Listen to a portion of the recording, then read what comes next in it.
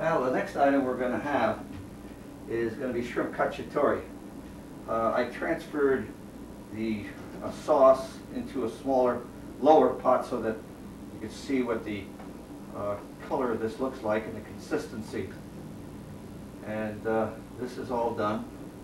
Now we're gonna put this on the back so you'll be able to see uh, the shrimp cacciatore.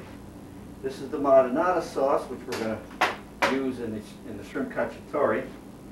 And uh, basically, the cacciatore is going to be the same whether you use chicken, whether you use shrimp, whether you use veal.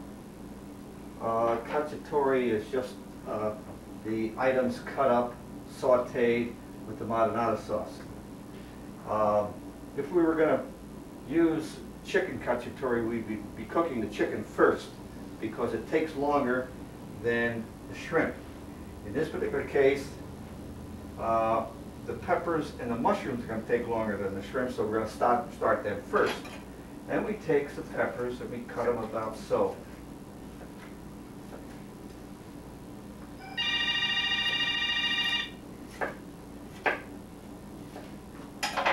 Hold on.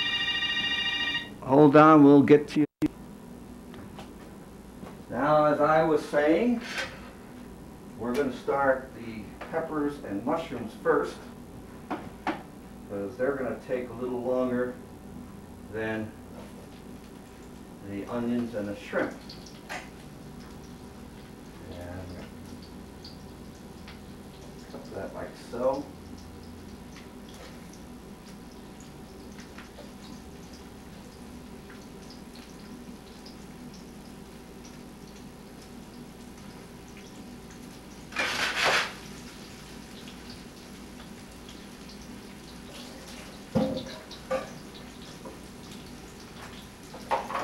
These were already scrubbed and cleaned. Uh, if you notice, I'm adding a lot of mushroom in comparison to the peppers. And the only reason I'm doing that is because tonight when we're eating this, uh, Kathy loves mushrooms. So I always add a little more, but if it was doing this for uh, the restaurant, uh, the mushrooms would be, oh, maybe one-third of what I've got in there.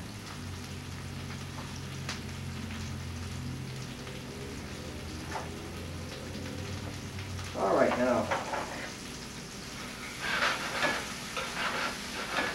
Saute that.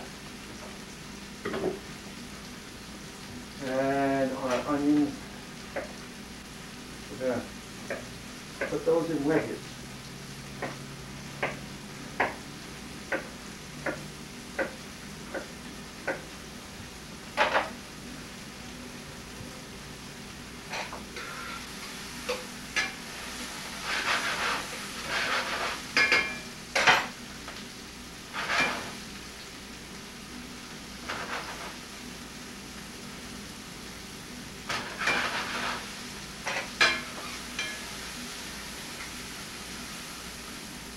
And you want to cook this just until they're about tender.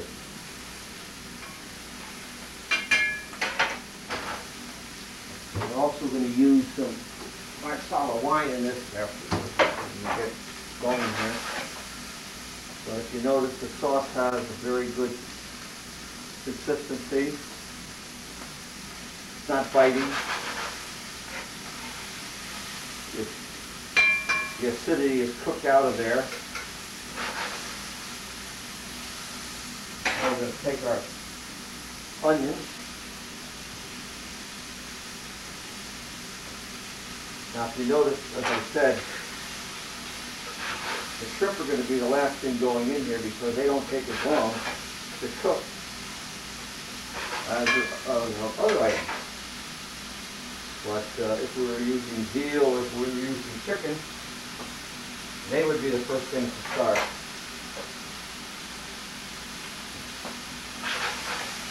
Now while cooking, we're going to add salt and add some pepper.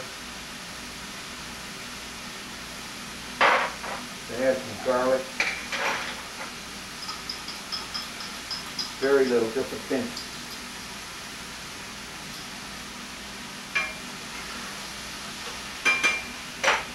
You don't want the garlic to overpower any of the other items, and we're gonna take some parsley. Now, As a rule, I would use fresh parsley, but since I'm out, I'm gonna be using the dehydrated, uh, the dried parsley. Staying away from the salt. There's a lot of people are on a salt-free diet at the present time. As you see, how nice that's coming. Now, the shrimp are a smaller size. Uh, in a restaurant, we usually use uh, a 16 to 20 shrimp. These are about 30 to 35, so we're adding a little bit more. Now, they've already been cleaned and deveined, and they're fresh. They aren't, well, they're fresh frozen. Uh, they aren't the uh, PDQs. And we're going to be adding the shrimp.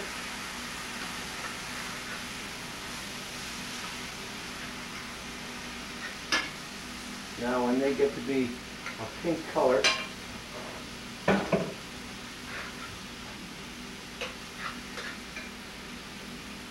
we're going to add wine.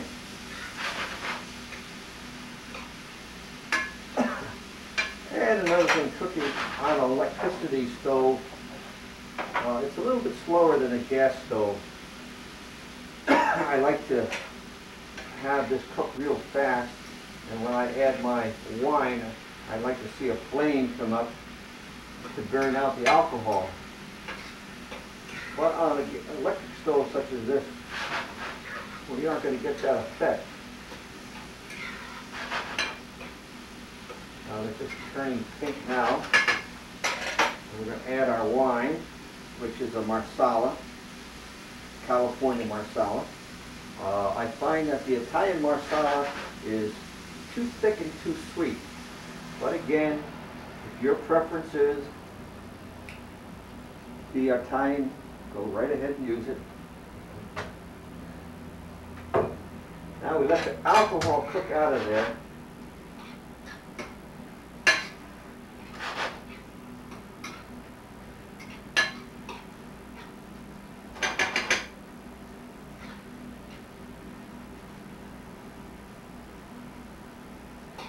Still a little bit of alcohol in there.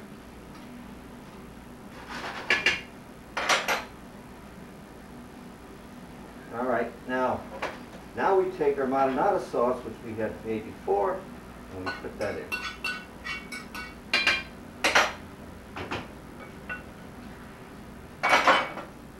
And there we have shrimp cacciatore, whoopsie daisy, shrimp cacciatore.